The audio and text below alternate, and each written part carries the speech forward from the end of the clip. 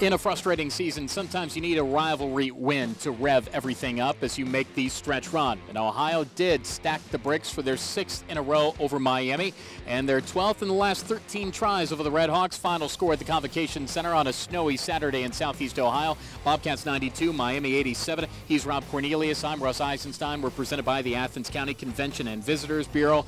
Wow, that's what rivalry basketball is all about. Yeah, that's really what it should feel like. And Ohio's had a good run of wins over Miami in recent years, but you know what? They're better. And this year, they're obviously with some doubt. This game went to overtime and proved this is a tough game between rivals. And guess what? We have to do it again soon. Yeah, we'll close the regular season at Millett Hall. Ohio was up by eight at halftime, outscored by eight, obviously, in the second half, and then won the extra session 13 to 8. What was the difference, sir? Well, Ohio had led by as many as, as 15 earlier in this game, but Ohio got defensive stops down the stretch and managed to really flip things in the overtime. Got down two possessions, got down four between before flipping it and just being great down the stretch and uh, making a ton of baskets and getting stops on Miami at the end. Ohio at five in double figures. Teyvion Kirk 18 points. Jordan Dardis 23. Gavin Block off the bench for the first time at 16. Yeah, played great. Got some boards. Got some three blocks. Don't tell him. Don't review the tape. He wants to keep those three blocks. Between Gavin and the game, Teyvion had 44 minutes trust factor. He was on the floor a ton today and produced. Flip side,